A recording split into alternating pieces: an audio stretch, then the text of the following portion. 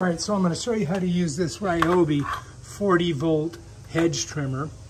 It's got a number of different uh, things on it that you can um, manipulate and change the angles on. I'm going to show you how that all works and how to put the battery in it.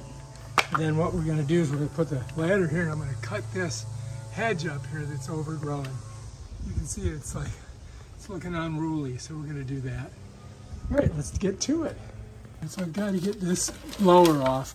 I only have one 40 volt battery. I'm going to need it. I'm going to need it to, for this one here. So to get it off of here, just so you guys can see, I'm going to tilt it up. And under here I've got to squeeze this doohickey. And put my foot there. And you really got to get in there and squeeze. And it comes out. Yeah, all right. So that's not, oh, whoops, that wasn't good.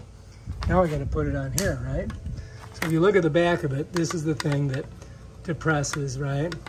These are the channels. And they just got to slide in there. And then there's the connector there. And you can see it right here. That's where the connections go. So this is towards you. You just set it on there like that. And just smush it in. Bam. Now this has a fail safe on it. So if I squeeze here, nothing happens. If I squeeze here, nothing happens. But I squeeze both of them at the same time, it, it starts cooking. Once you get it ready to go, you want to pull off the sleeve. Now if I squeeze this, nothing happens. But if I squeeze them both, it works.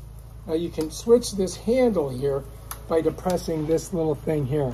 And then it switches around so you can get different angles on it like that. You follow me?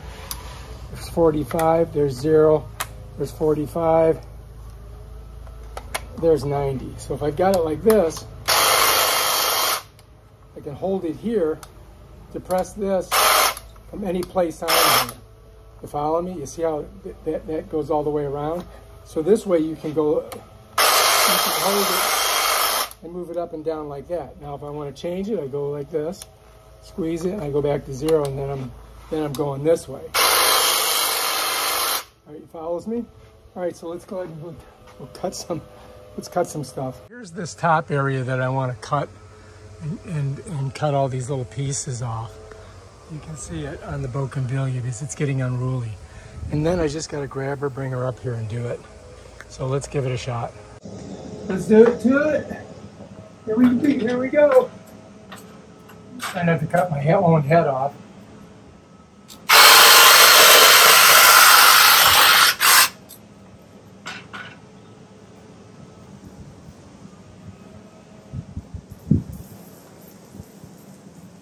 I got to get up a little bit higher on this side.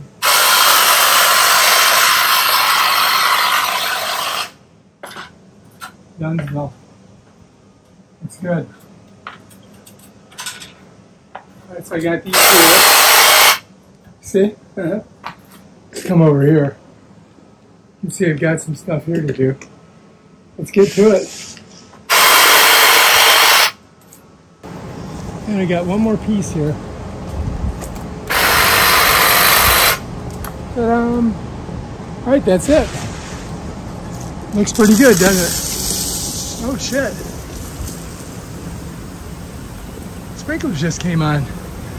That looks pretty good. I think I did a good job on it. All right, so I don't cut myself. I'm just gonna get this off of here.